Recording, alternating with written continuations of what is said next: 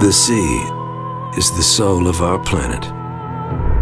Still holding secrets as varied and vast as her boundaries. The brave pioneers of underwater exploration revealed a brave new world for us to see.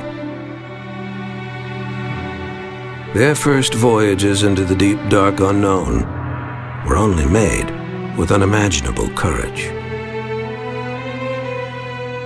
Jacques Cousteau and his team of researchers brought us back experiences no others had captured before.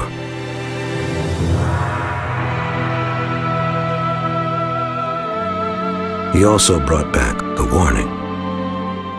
Not to let the cries of the ocean go unanswered.